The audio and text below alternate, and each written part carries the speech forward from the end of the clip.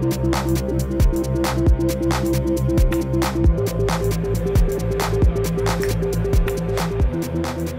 Intel's showing behind us and throughout the entire booth is the breadth and depth of offerings that Intel offers in tablet.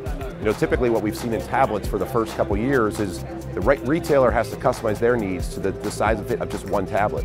What we've got showing at Intel's booth is tablets from 7 inches to 11 inches, operating systems from Android to Windows, with over 13 different applications running on it, rather than just one simple application that a retailer could run.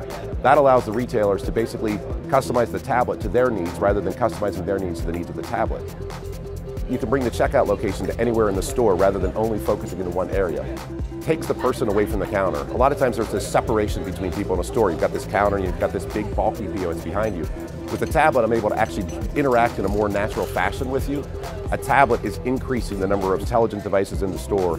It's enabling you to go from the back office room to the front of the floor. The other thing it does is it enables managers to walk through the store with a table with access to how's our store doing, how are the sales going, everything is there connected to the back end the entire time.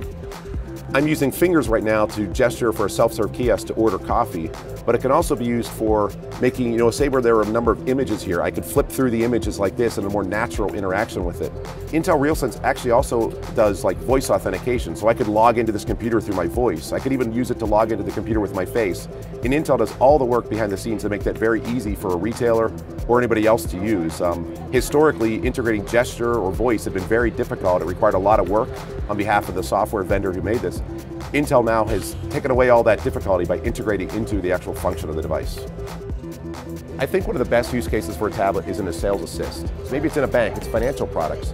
You can go through all the different offerings in a very you know, close situation where you can just thumb through them rather than sitting across the desk looking at old paper products. Here with a tablet, you've got everything at your hands.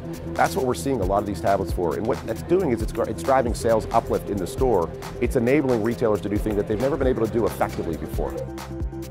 Thank you.